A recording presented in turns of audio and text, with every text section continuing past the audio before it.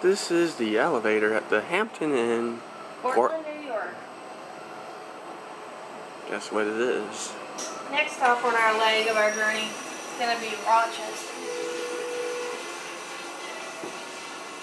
Bathroom, otherwise known as High Flying Elevators 22.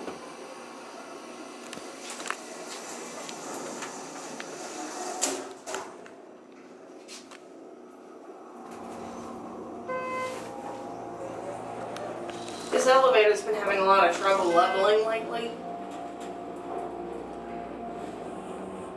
It's like, don't move me. I'm tired. Well, I actually did pretty well. It's still off by a few, but door button does not, door close button does not work. There's also no certificate to show. Hallway ceiling. It's a Hampton. Hampton elevator. Nicely maintained, but this one's a little meh.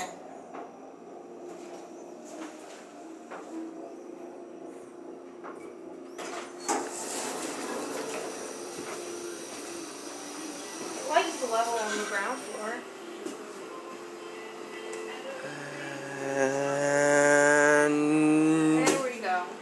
by elevator.